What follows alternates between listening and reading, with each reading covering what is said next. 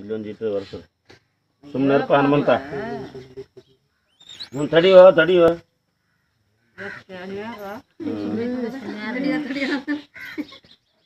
ಹೌದ್ರಿ.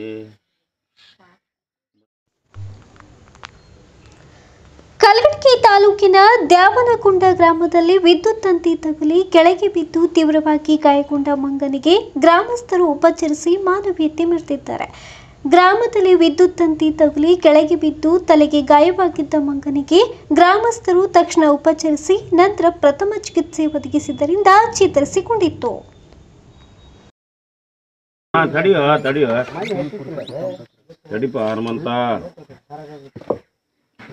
ಒಳಗೇನಿಲ್ಲ ಇಲ್ಲಿ ಮ್ಯಾಗ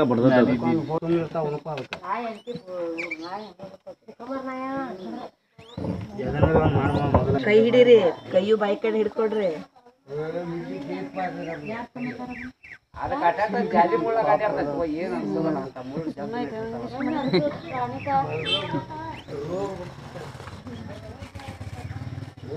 ಇವತ್ತು ದಸರಾ ಇದ್ರದ್ದು ಇದು ಐತಿ ಇದ್ರ ಒಂದು ಟೈಮ್ ಪಾಪ.